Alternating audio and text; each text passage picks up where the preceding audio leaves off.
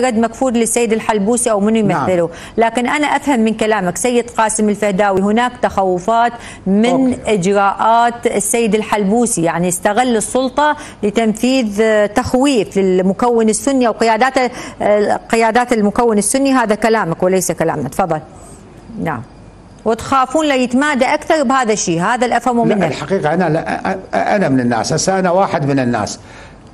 لا ابدا. أنا أنا أقول لك أنا شخصيا نعم استهدفني كثيرا ولكنني لست خائفا منه. أنا لا أخاف من أحد لا لا أخاف إلا من الله. ولكن هذا الاستهداف يزعجنا وولد عندنا إحباط أنه هذا الرجل لن يستطيع أن يخدمنا كما يجب.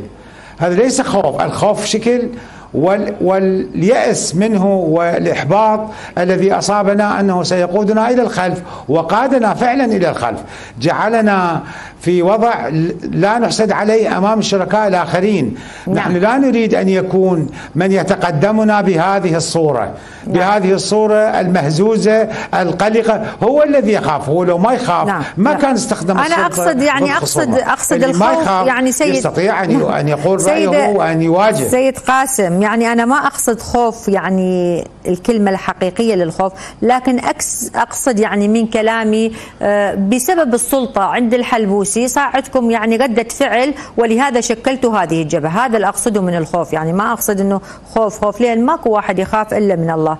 أه، تفضل.